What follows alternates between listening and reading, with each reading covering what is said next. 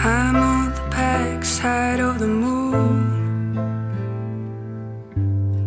Still hoping someday it will